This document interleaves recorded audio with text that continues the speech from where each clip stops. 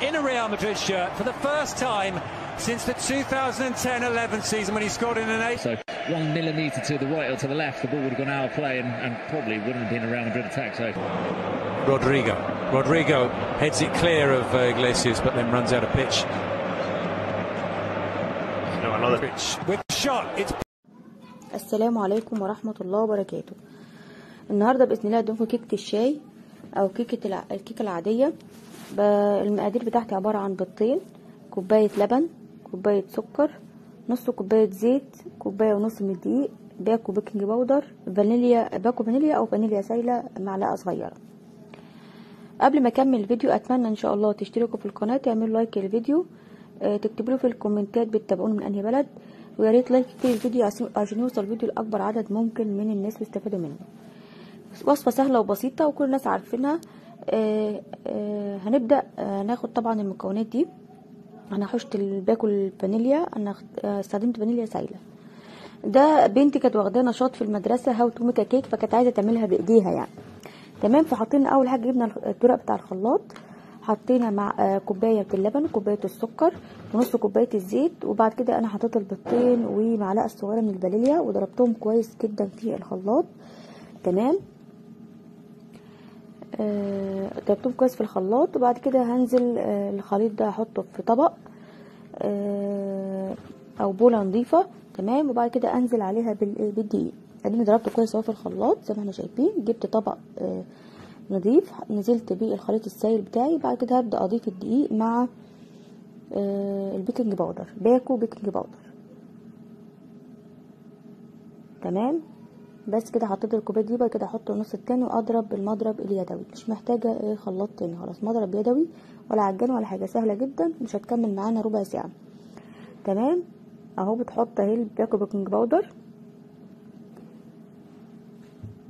هبدأ أخلطهم كويس جدا. بعد كده أكون مجهزة آه، صينية أو قالب مدهون بالزيت. ممكن أبطنه بدقيق أو ممكن لأ سمنة أو زيت زي ما تحبي.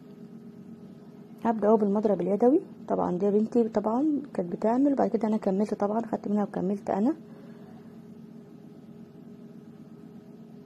الصينيه اهو مدهونه بالسمنه بعد كده نزلت بالخليط بتاعي. أكون مسخنه الفرن على درجة حرارة 180 هتاخد معانا من نص ساعة نص ساعة وخمسة. طبعا إيه اختبرها بالخلة. لو طلعت مستوية خلاص ما طلعتش مستوية بكمل تاني مثلا خمس دقايق سوا على حسب الفرن بتاعك. تمام؟ أهو. سخنت الفرن على 180 وحطيت بعد كده طلعتها خدت معايا حوالي نص ساعة بالظبط.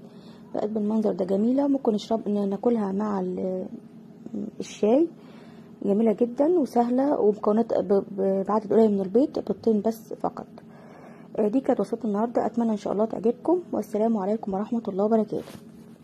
عزيزي المشاهد لماذا أبواب الحمامات بتكون قصيرة؟ بعض أبواب الحمامات بتكون قصيرة. السبب ان آه، بيكون طبعا أول حاجة بتكون عشان خاطر التهوية لازم تكون سريعة التهوية يعني الحمامات. تاني حاجة لما تكون تحدث حالة طارئة في آه، أو طوارئ فإيه طبعا ممكن أي حد يخرج من تحت الإيه الباب. تالت حاجة بتكون أسعار الأبواب بتكون قليلة رخيصة ما بتكونش غالية.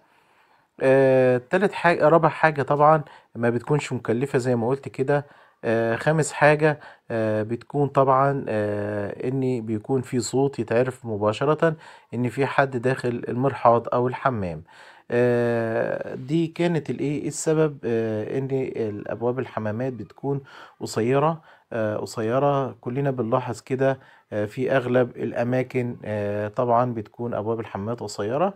فزي ما قلت كده آه، سادس حاجة بتكون إيه؟ سهلة الإيه؟ التنظيف يعني بسهولة يتم التنظيف من غير ما يأثر على الباب. أتمنى أن يكون الفيديو نال عجبكم بشكركم. والسلام عليكم ورحمة الله وبركاته.